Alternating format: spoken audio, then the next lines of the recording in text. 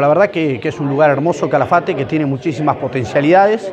y uno ve hoy, por ejemplo, la universidad en Calafate, cuando uno pensaba que Río Gallegos debería ser el polo universitario y quizás se ponen a competir entre intendentes cuando Gallegos quiere generar eventos turísticos y creo que no es el destino. Hoy tenemos muchas universidades en Santa Cruz y podría ser el movimiento estudiantil lo que le dé vida a la ciudad capital y lamentablemente creo que son peleas estériles porque realmente hay lugares para potenciar el turismo en, en la provincia, como puede ser los antiguos, el Calafate, Deseado, y en esas internas a ver quién tiene más poder, me parece que se equivocan algunos intendentes. Nosotros disfrutamos cada vez que visitamos estas localidades que son tan lindas de poder charlar con los vecinos y, y ver ciertas obras que se hacen, las celebramos, ¿no? Entonces, eh, en buena hora, eh, ver cómo las localidades crecen, creo que es una localidad que ha crecido muchísimo cantidad de habitantes y el censo esperemos que así lo demuestre, porque son de esas localidades que muchas veces se la castigan a la hora de la coparticipación, porque se están manejando con números que han quedado totalmente desactualizados y Calafate,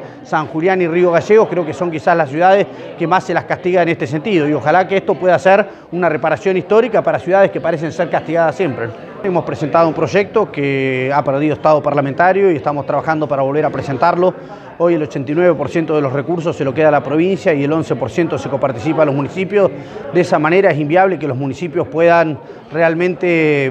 eh, ver qué futuro quieren para su localidad en cuanto a obras de infraestructura. ¿no? Se dirigen simplemente a poder pagar sueldos, muchos de los municipios no pueden pagar ni los aportes previsionales ni a las cajas y han fundido al mismo Estado ¿no? por no tener los recursos. Entonces creo que hay que dar esa discusión en el recinto, gobernadora lo anunció una vez y esperemos que se pueda dar. Hay distintos proyectos de otros diputados y creo que eso es una asignatura pendiente que tenemos esta composición de la legislatura de poder sacar una nueva ley de coparticipación.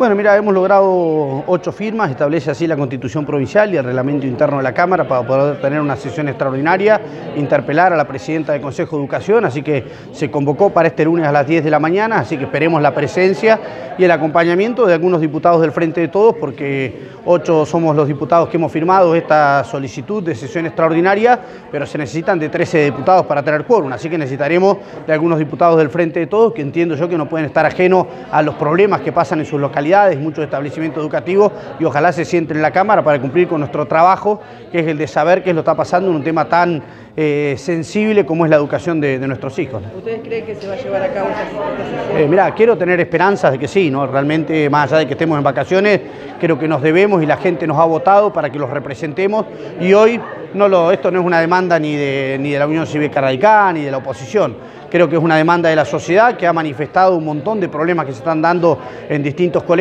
y bueno sería que, que asumamos esta responsabilidad que el lunes estemos ahí, más allá de que después cada uno podrá pertenecer a un sector político, creo que hay muchas preguntas para hacerle a Cecilia Velázquez.